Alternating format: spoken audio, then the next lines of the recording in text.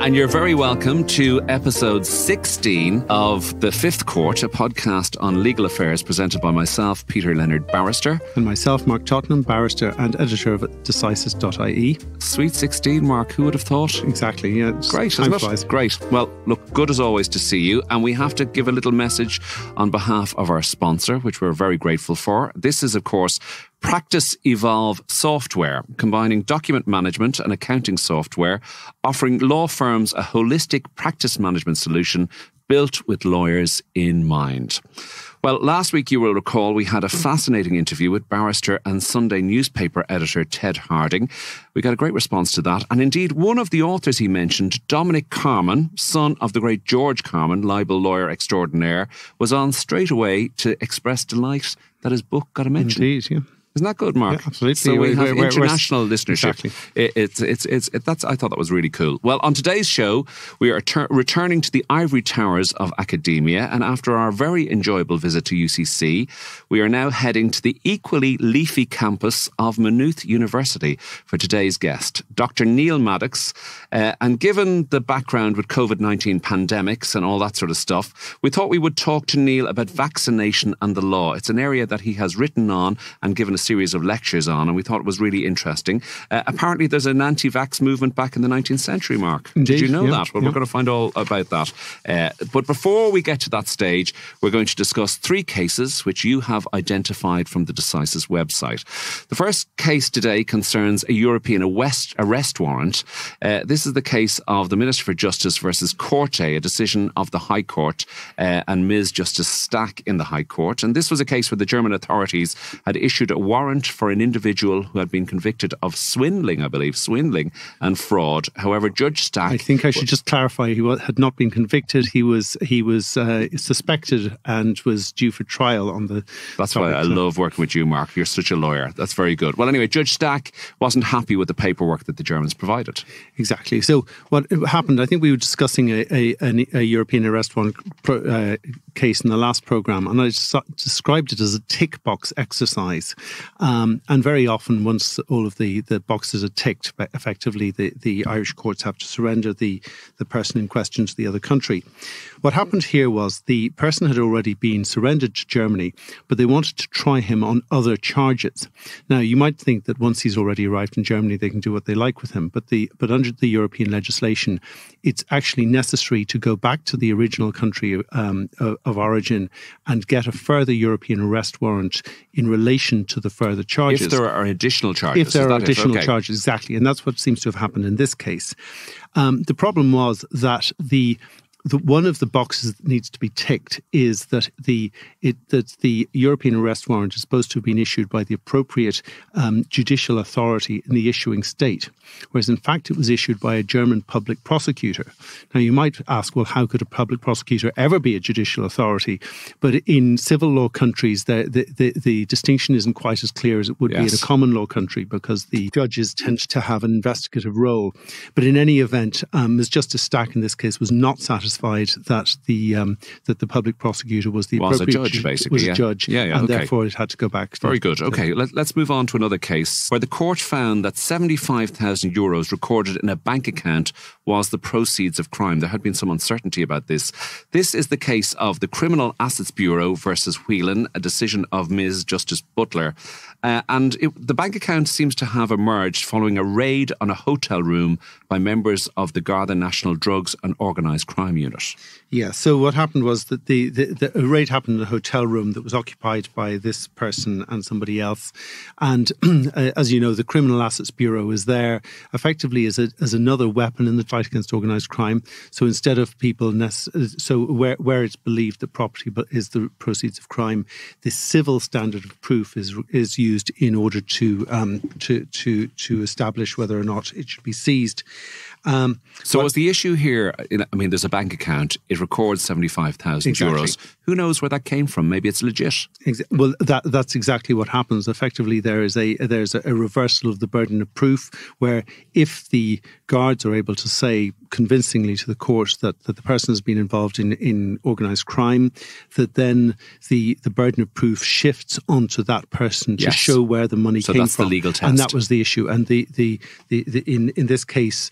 uh, both in the High Court and then again on appeal, they tried to argue that there was an injustice involved in seizing the 75,000 euro, but the Court of Appeal was satisfied that the test had been met and therefore. So Miss Justice Butler said this is the proceeds of crime. Indeed, she was happy yeah, that that had yeah. been satisfied. Exactly. Okay, very good. So finally today we have the case of the Medical Council versus B, and this concerned an application in the High Court to suspend the registration of a doctor who'd been found guilty of certain road traffic offences. Exactly. Uh, the issue in this case was whether the doctor in this case should be anonymised or identified.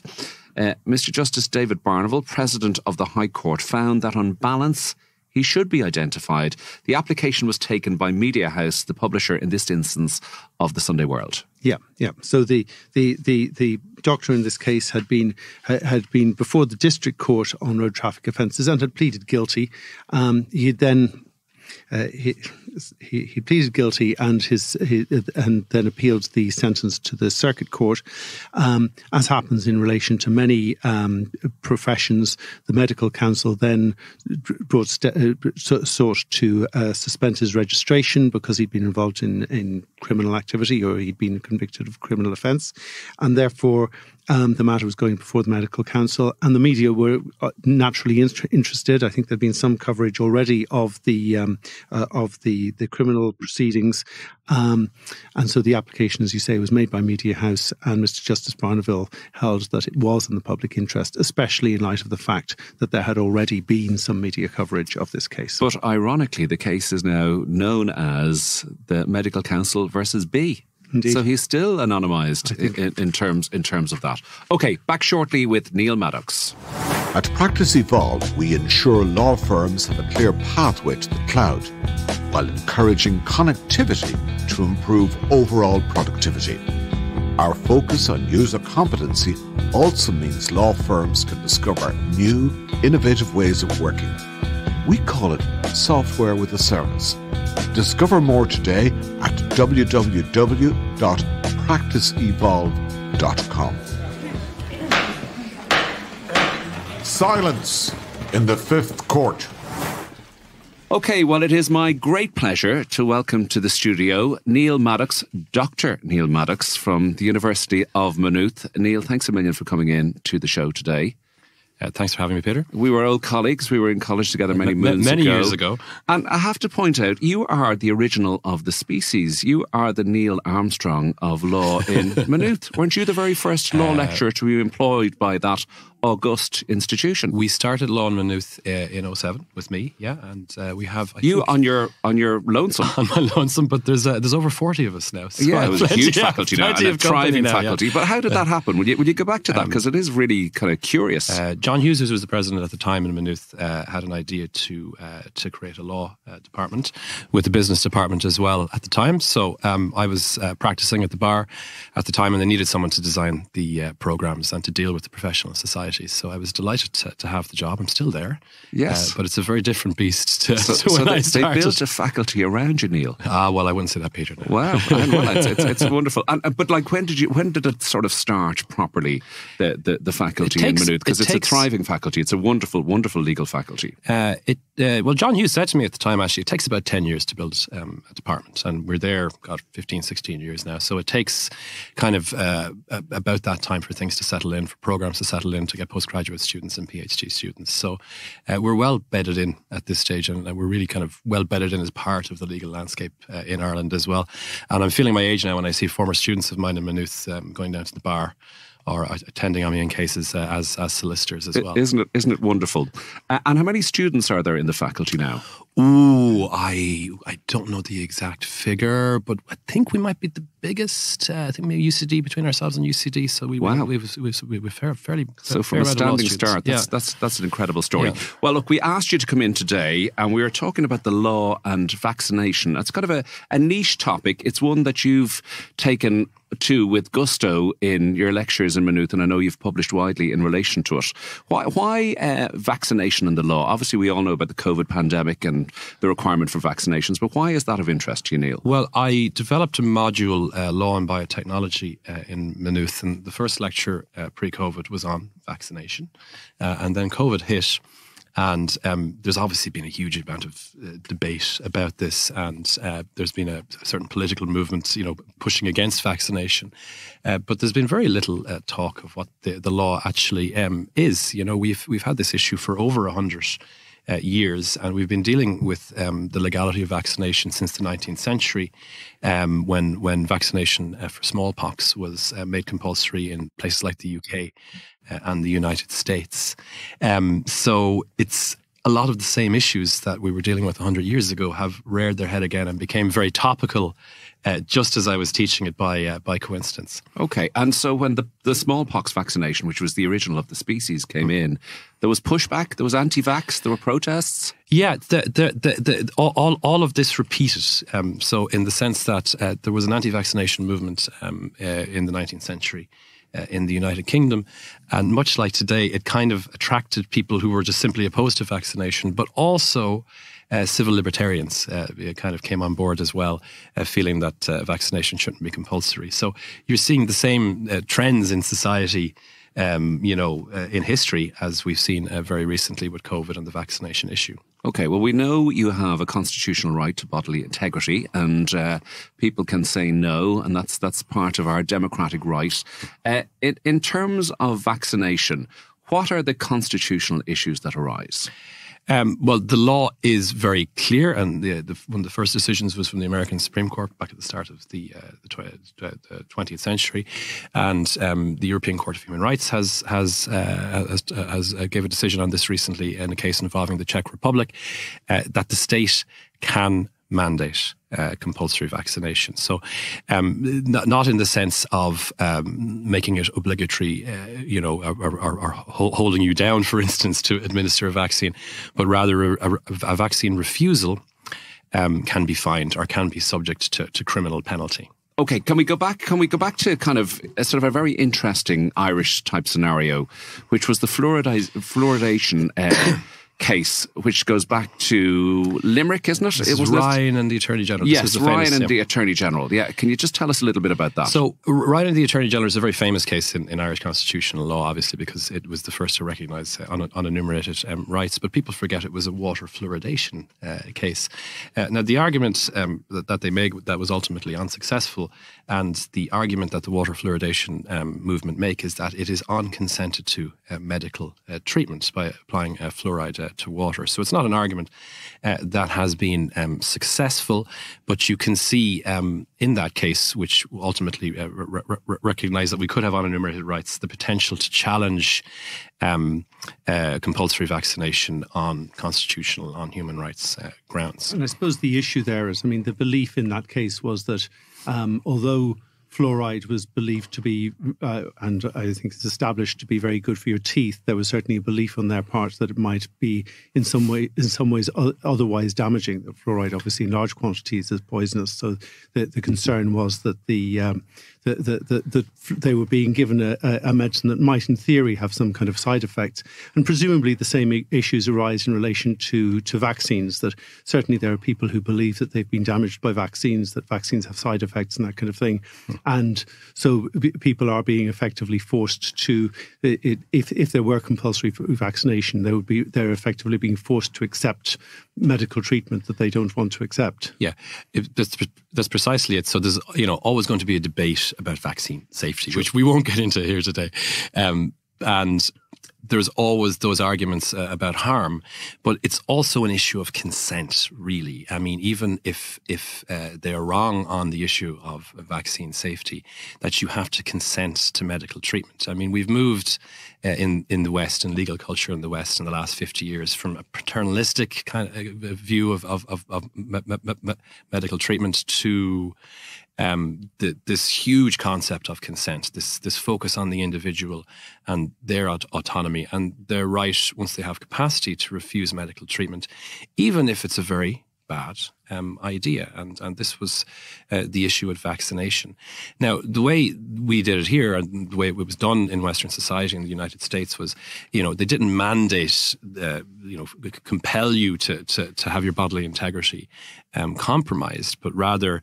Um, if you refused vaccination, uh, you know your movements were restricted. Uh, you couldn't go to restaurants and bars. And there's an argument. Uh, one of my students actually in the classmate, he said, "Well, at, at what point does this undermine the principle that medical treatment should be freely consented to? At what point of coercion does it become illegitimate and are we really undermining a person's autonomy to make these decisions that the law said that they should be empowered to make for themselves? Sure. And, and tell us about that debate. I mean, so so what happens? I mean, there is competing interest there. You have the state which is saying, in in the public interest, in the public good, it is important that these dangerous diseases are kept at, in abeyance, yeah. are reduced, or the the threat to society. So we need to implement kind of measures whereby people will buy into that. But on the other hand, you have people saying, no, sorry, uh, don't interfere with my right not to take something if I don't want to. Yeah, and the the ethical issue really is that it's not just uh, you who is affected. So that if you refuse vaccination, it leads to disease outbreak and um, it leads to a public health issue. So the justification for interfering with your rights, of course, is is for that reason because your your refusal, your private medical decision, can have an impact uh, upon the broader society on others. Now, with the recent debate about the, did they overpromise on vaccines about preventing transmission, the anti-vax movement would say, well, hold on, if they don't prevent transmission, I mean, how do you ethically justify um, making vaccination um, compulsory? So um, that's that's where that is essentially um, coming from. But um, the, the, problem with this, of course, is eaten bread is soon forgotten. So when the disease starts to disappear, the focus is on the vaccine, and um, people are focused on the safety aspects of the vaccine, even if it is a substantial good. And uh, you saw this even pre-COVID. You have you have um, uh, outbreaks of measles, for instance, in large parts of the United States where there's very low vaccine uptake because of this. Hmm.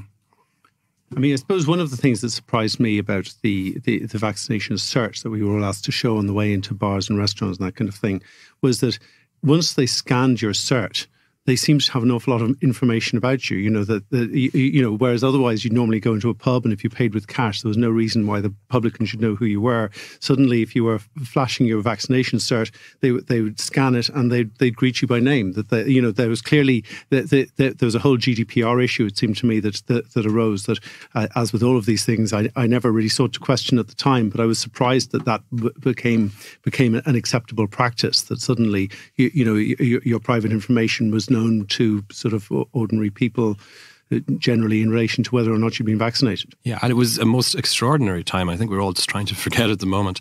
Uh, Lord Sumption, uh, the retired uh, UK Supreme Court judge, has written on the civil liberties issues uh, that occurred in COVID in, in the UK. And I was, I'm, I'm a lawyer, I was, I was uh, very surprised the speed at which um, these measures were adopted. And there were very severe curtailment um, of uh, civil liberties. Now, it, in reality, the government was responding to popular demand, uh, but it was, from that point of view, very um, concerning. And um, I think it was concerning if you're if if, if you are interested in um, preserving civil liberties. It was concerning for me to see that the state could see how easily um, that this coercion could be implemented mm. by by law. Um, the Supreme Court in the um, in the recent uh, uh, John Waters litigation.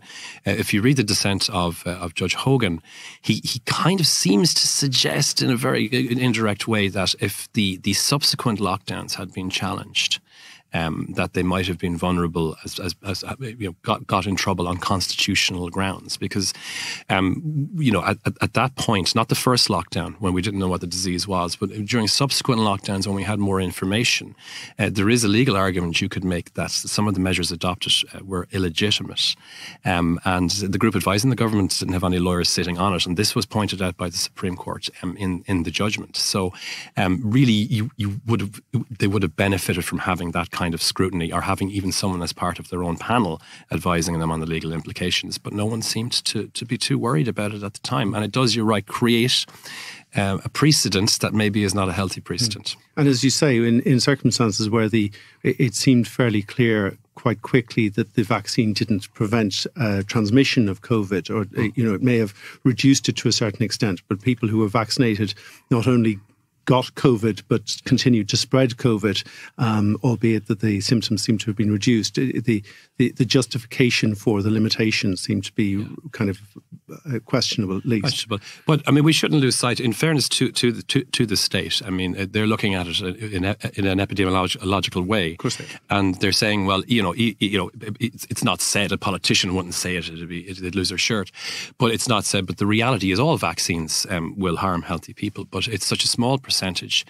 Um, that the justification is uh, that uh, the the lives that are saved vastly outweigh um, the small amount of damage that is done by vaccine harm. So, so, when you say all vaccines will harm healthy people, I mean, you mean there's a small number of people who will have yeah. an adverse reaction to Exactly, and it's usually considered statistically negligible. So obviously, yeah. when, when something bad happens, it's reported everywhere and perhaps maybe an outsized, uh, it's given an outsized importance. Sure. But in statistical terms, um, the the justification for it is it is saving far more lives um, than than it is harming.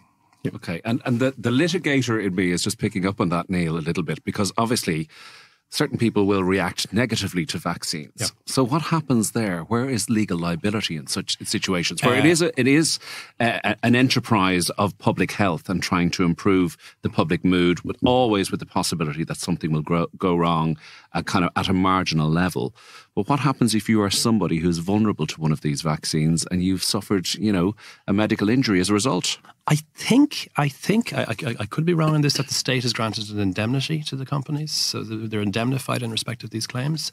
Um, and uh, I, we're getting beyond my expertise now. I'm not sure the political reason um, for that. So I mean, we're, we're, down the law library together.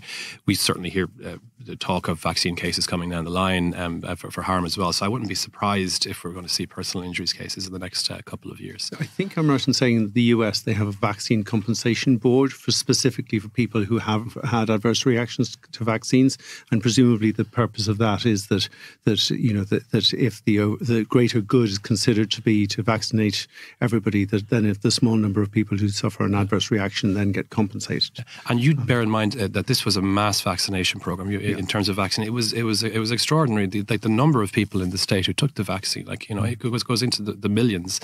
So I would be very surprised if even if there was a negligible percentage of uh, vaccine harm, there wasn't a, a fair few cases that came out of it. You know. Yes. Okay.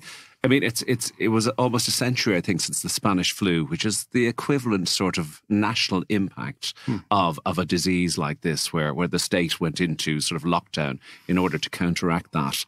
Uh, just listening to you again, Neil, I find this really, really interesting. Are, are, we saying that in terms of lockdown generally, more broaden it outside of just vaccination, hmm. um, that a kind of a body of jurisprudence is is, is emerging whereby if there is a further lockdown down the line, that people will be able to maybe challenge that and say that the implications for me are disproportionate to the interests of public health? I, I don't think I, I could put it in, in, in, those terms. The tragedy of the Waters cases, I think if they had um, focused uh, on, on, on maybe their better points and if they'd taken the offer um, of free representation um, uh, that was given to them in the Supreme Court, they, they, may have had a chance to, to frame a case in a way that would have been successful.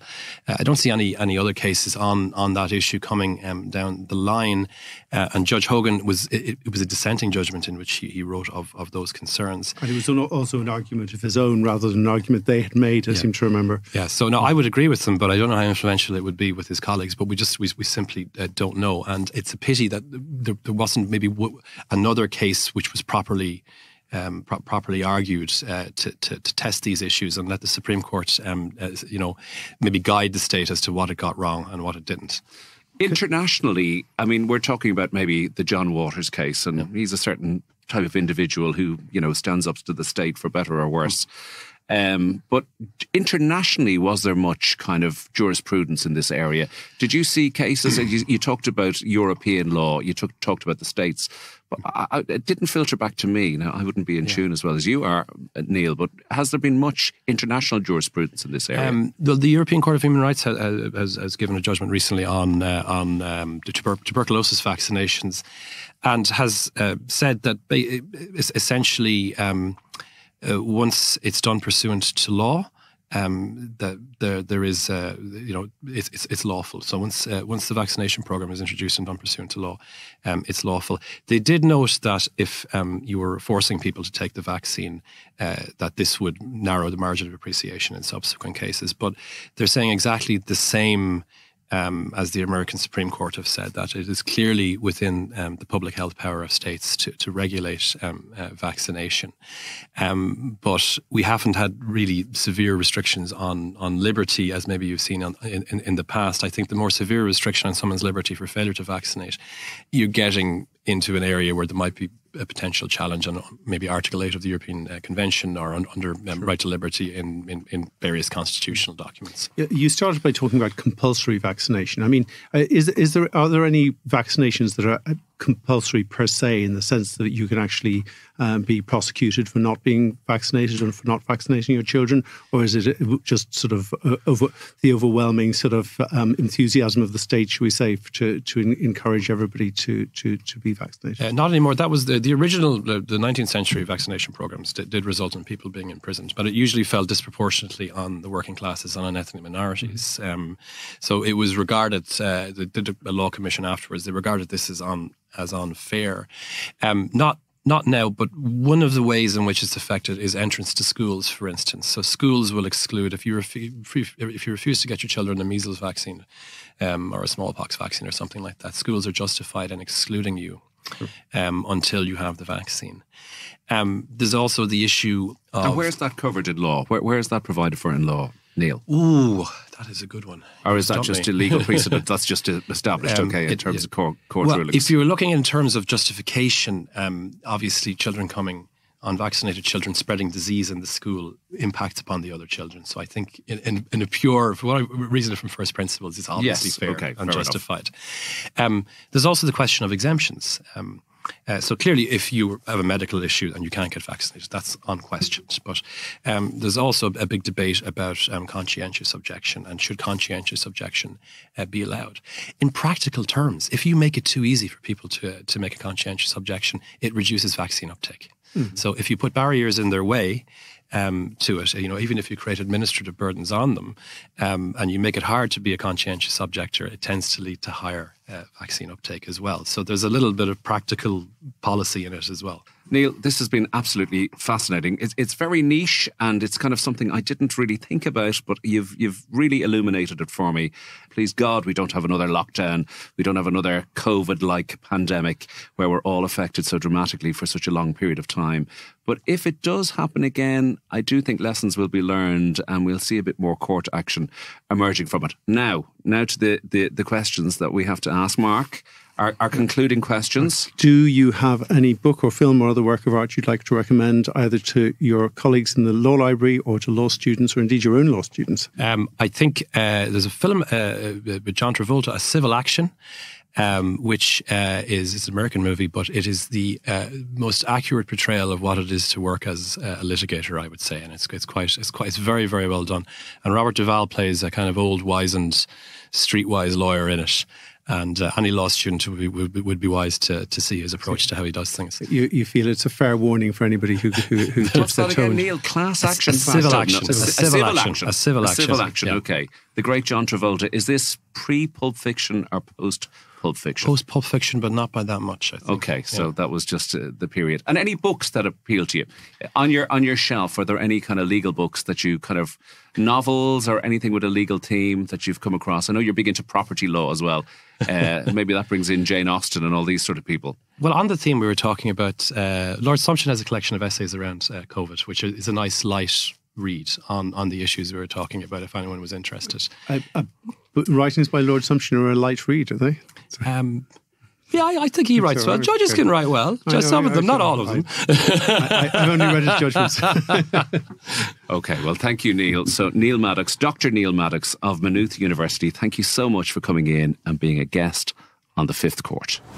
At Practice Evolve, we ensure law firms have a clear pathway to the cloud while encouraging connectivity to improve overall productivity. Our focus on user competency also means law firms can discover new, innovative ways of working. We call it software with a service. Discover more today at www.practiceevolve.com. The Fifth Court will adjourn until next week. And that's all from this edition of The Fifth Court. We hope you have enjoyed it. Can we say a huge thank you to our guest, Dr. Neil Maddox of Maynooth University, for coming in and telling us about the law and vaccination. Really, really interesting discussion there. Uh, I would also like to say a big thank you to our producer, Conal O'Moroyne, and to the Dublin South podcast studios, and Peter Rice in particular, for recording this show and doing such a wonderful job. Mark, we can't go without saying thank you to our sponsor. Absolutely. We need to thank Practice Evolve Software, who combine document management and accounting software and offer law firms a holistic practice management solution built with lawyers in mind. So thank you very much to them. Very good. Uh, if you have any comments or any legal stories you would like to raise with us, please contact us on our website or on LinkedIn. Uh, and please share this podcast, Mark. I think we were forgetting to say that. Absolutely. I think uh, we were number eight in the business eight? podcast okay, chart. Wow, you're really studying the exactly, form. Yeah. That's good. That's good. So for me, Peter Leonard. And myself, Mark Tottenham. Thank you for listening, and we'll see you soon in the fifth court.